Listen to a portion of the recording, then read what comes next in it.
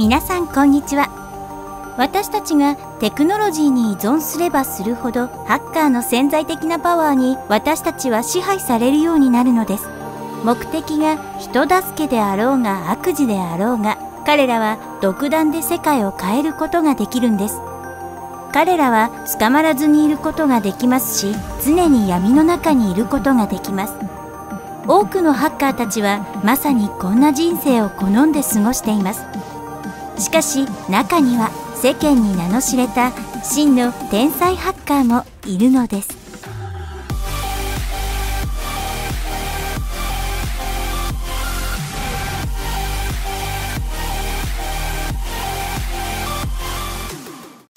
ケビン・ポールセンは暗黒のダンテというすでに退職した名誉あるハッカーでした。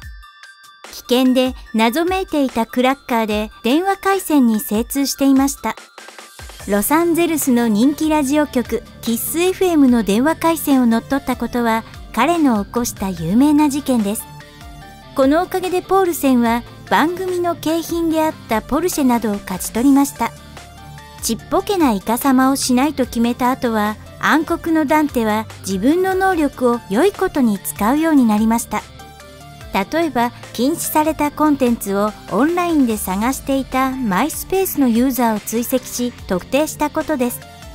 それから間もなくポールセンは自らの目標を高く上げました。FBI のデータベースに侵入して電話盗聴に関する機密情報の入手手段を確保しました。このことは当然アメリカの権力者たちがあまり気に入らなかったのでケビン・ポールセンは捕まり懲役5年を言い渡されました。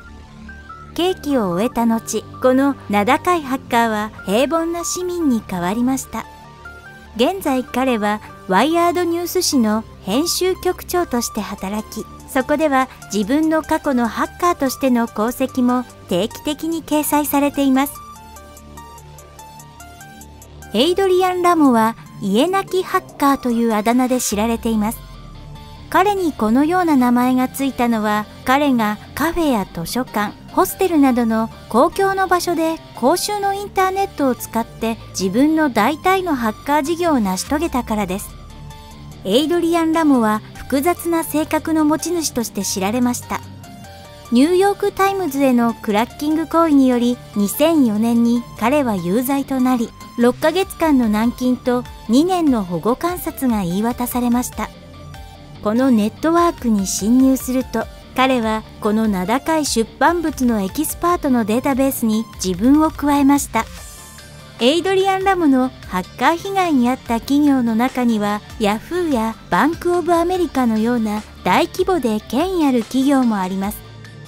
ラモはしばしばそういった安全システムの弱点を見つけ出してはそれをハッキングし企業にそのことを伝えていました。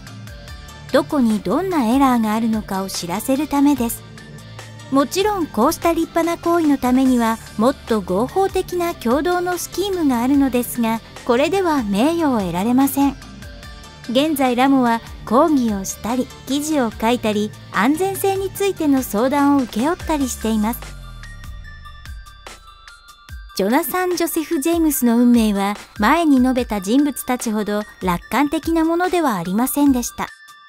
ジョナサンは機密情報のハッキングによって禁錮刑が課された史上最初の未成年ハッカーです。犯罪を犯した時彼はたったの15歳でした。ジョナサン・ジョセフ・ジェームスは細かいことに労力を使いはしませんでした。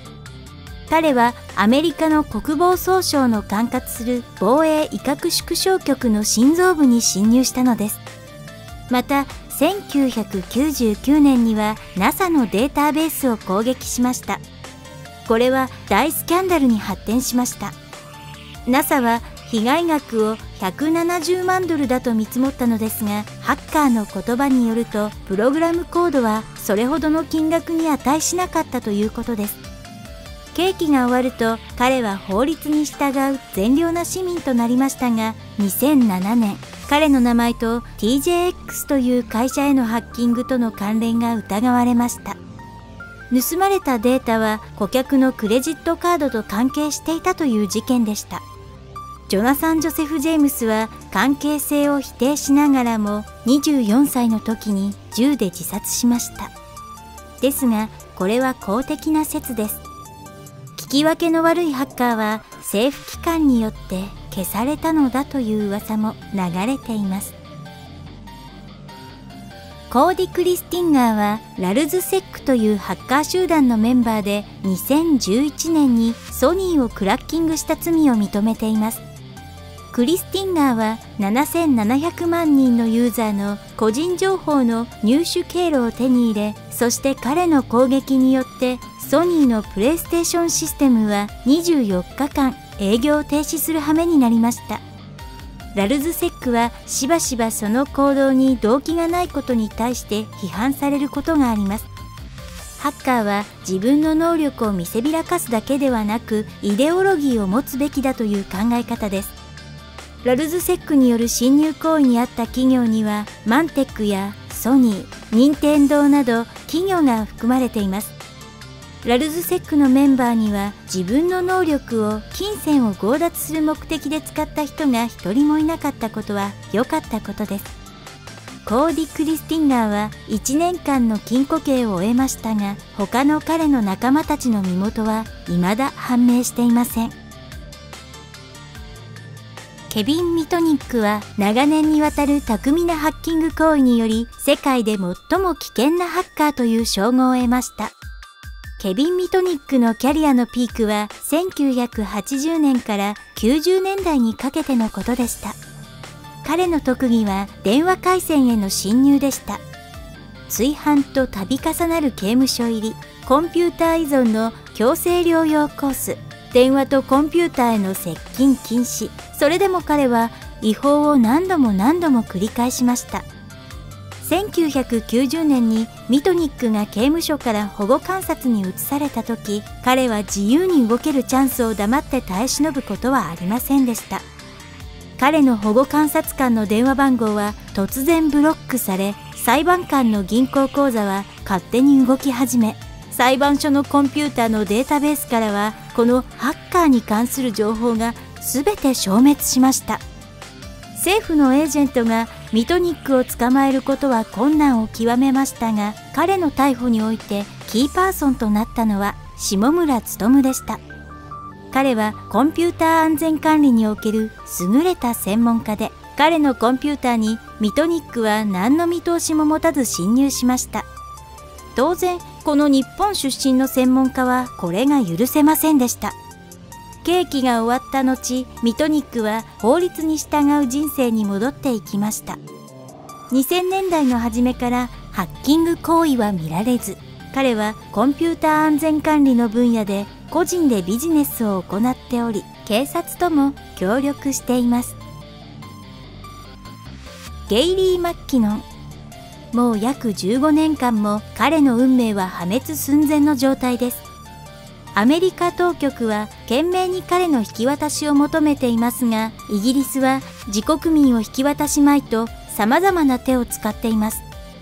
2001年から2002年にかけてゲイリー・マッキノンは NASA やアメリカ防衛省に関わる様々な行政省庁の数百ものコンピューターに侵入しました。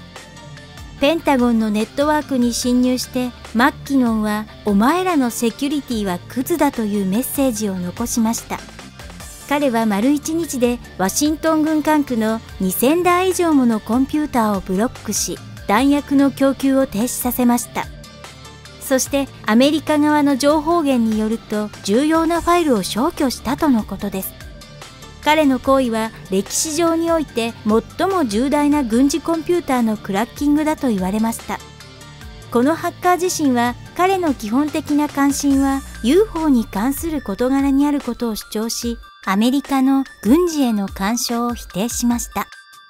イギリスにおいてコンピューターセキュリティに関する法律違反は犯罪者の引き渡しの対象とはなりませんがもし仮にアメリカ当局が訴訟に勝利したらマッキノンは最高で70年間の懲役になります。今日はこれでおしまいです。皆さんご鑑賞ありがとうございました。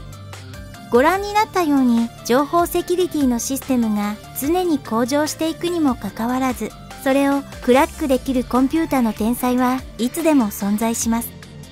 しかし、あなたがどれだけ強かったとしても、ドアの錠前とは閉じていてびくともしないと分かったら、こじ開けようとはしない、礼儀正しい人のためについているのだということを覚えておいてください。皆さんは礼儀正しい人であってくださいね。それではまたお会いできる日まで。